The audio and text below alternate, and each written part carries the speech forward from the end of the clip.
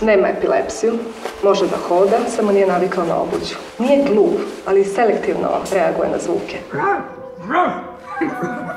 Ima otpor prema kuvanoj hrani, ali na kraju uvijek sve pojede.